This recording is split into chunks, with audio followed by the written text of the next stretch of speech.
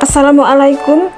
Kali ini saya akan membuat masakan atau camilan berbahan dasar tepung kanji. Ini sangat enak sekali yang namanya keripik tanpa dijemur Langsung digoreng. Ini sangat renyah sekali. Jangan lupa subscribe dan tekan tombol lonceng untuk mendapatkan notifikasi berikutnya.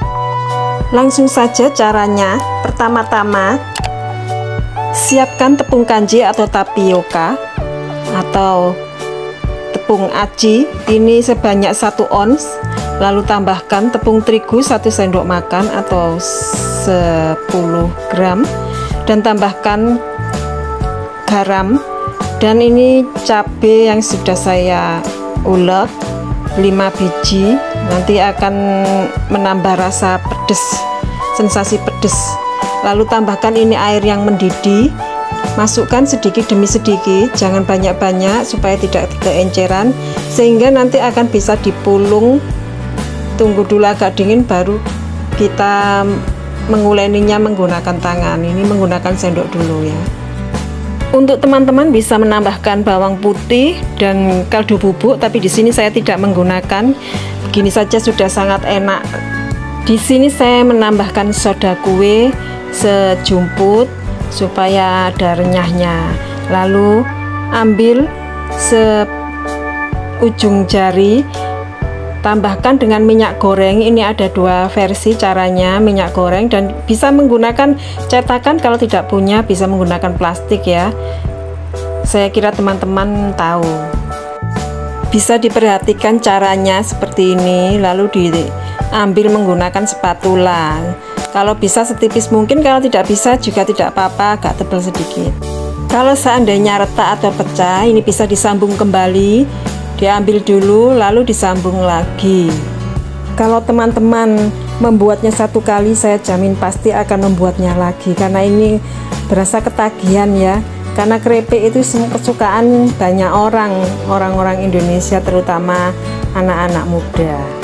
Untuk versi cara yang kedua, tambahkan tepung kanji. Ini saya alasi plastik supaya untuk mengambilnya nanti biar mudah ya.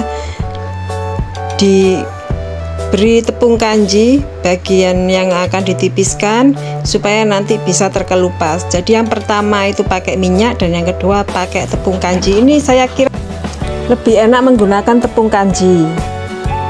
Nah bisa dilihat kalau menggunakan alas plastik ini lebih mudah untuk mengambilnya tanpa menggunakan spatula ya. Dan ini sangat mudah sekali kalau menggunakan tepung tapioka. Selesaikan semua adonannya sampai habis. Setelah semua selesai maka panaskan wajan kasih minyak api cenderung kecil lalu goreng satu persatu. Di sini saya menggoreng dua kali untuk mempercepat bisa digoreng satu kali langsung mateng tapi ini saya menggoreng dua kali ya untuk mengirit gas. Kalau digoreng satu kali saya kira kekurangannya nanti kurang renyah. Jadi kalau digoreng dua kali setelah diangkat lalu didinginkan jadi belum sampai kekuningan diangkat nanti digoreng lagi setelah dingin baru dipanaskan minyak lagi. Digoreng dua kali itu saya kira bisa bertahan lama renyah. Ini setelah pengangkatan pertama ini agak lunak ya. Masih belum keras betul sengaja saya angkat lalu saya panaskan minyak goreng lagi karena ini sudah dingin. Setelah itu saya goreng kembali dengan api cenderung kecil supaya tidak gosong karena ini ada cabenya jadi rawan gosong. Tara, dan ini sangat renyah sekali teksturnya juga sangat cantik. Ini putih-putih ini adalah tepung kanji ya. Jadi tidak apa-apa. Dilihat teksturnya dan ini tidak gosong. Ini merah-merah ini adalah cabai